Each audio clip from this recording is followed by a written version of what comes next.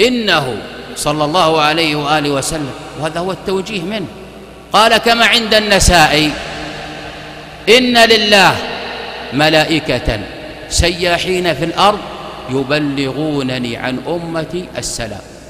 لو سلمت وصليت على رسول الله صلى الله عليه وآله وسلم في أي مكان ولو بعدت عن المدينة بآلاف الكيلوات فإن هناك ملائكة يبلغون رسول الله صلى الله عليه وآله وسلم سلام أمته. إذا لا حاجة لهذا الغلو الذي يفعل عند قبره صلى الله عليه وآله وسلم.